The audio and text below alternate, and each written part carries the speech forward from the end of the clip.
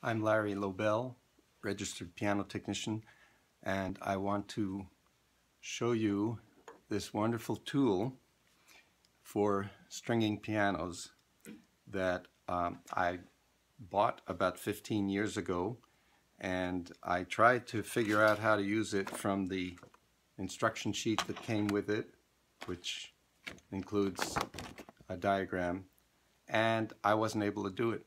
It was I just couldn't get it and apparently I'm not the only one because other piano technicians on the Facebook PTG page have said the same thing. But recently I was in a situation where I needed some help stringing and I remembered this tool and I found a YouTube video made by Val Angrosino that showed how to use it and along with his help and the instruction sheet I was able to figure out how to use it. I did use it to string a piano and I'm a convert. This tool is amazing what it does. Um, so uh, if you're going to string a piano in the traditional way, uh, whether you're installing new tuning pins in the piano or you're going to use the existing pin, in either case, you need to make a coil around the pin. So after you've uh, figured out, measured whatever method you use to measure the extra length of wire that you need beyond the pin so you have enough to make three coils and then you've cut off the wire so it's the correct length. Uh, in either case you then need to make a coil around the tuning pin outside the piano and you would use a, a tuning pin crank to do that and wind the wire around the tuning pin two turns. If it's a new pins going to the piano you would then insert the pin into the hole tap the pin down almost all the way down and then you would tighten up the coils using a coil lifter to make sure the coils are level and straight.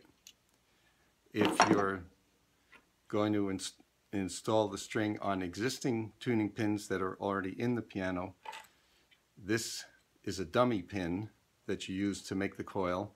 Then you have to pull the becket out of the pin to get the coil off the dummy pin put it onto the new pin,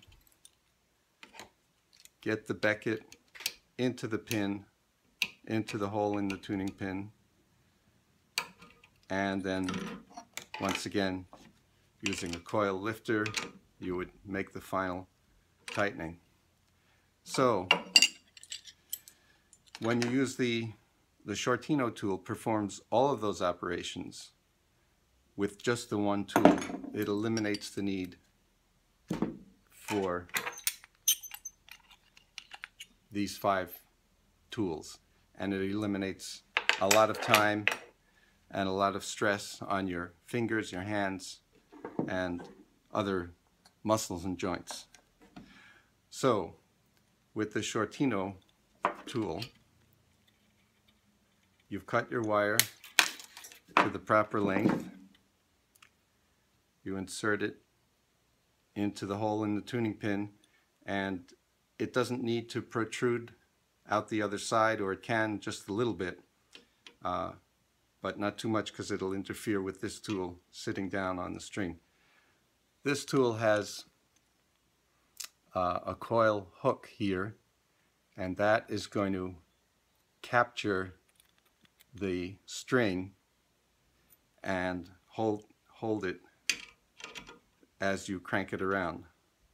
So it has to be adjusted to the height where this uh, coil hook is going to be at the height of the hole in the tuning pin when you set the tool down onto the tuning pin. And I'll show you how to do that later. But for now, uh, you put your wire through into the hole. You're going to set the tool down with the, uh, assuming this is the front, the strings coming from the front of the piano, you'll set this down so that the coil hook is not yet touching or grabbing the string. And then just turn it slightly until the hook catches the string and grabs it and then you can't turn it anymore. This handle is not for winding the coil and it's only used to capture the string in the coil hook. Once you've done that, put your tuning hammer on and give it one, two and a half turns. Remove the tuning hammer, remove the coil maker, and there it is. You've got a perfect coil around your tuning pin. And then you can tighten it up in the usual way. I have found that it, it makes such a perfect coil that when you tighten it up, it automatically is level and the becket is already flush with the pin and there's no need to use a coil lifter or squeeze the becket. It's just perfect and consistent every time. And uh, it, it, I think it cuts the time in half. In another video, I will show um, more details about this tool and how to adjust it if necessary. It can be adjusted for um, different size pins, number two, three, and four size tuning pins. I'll do that in a separate video.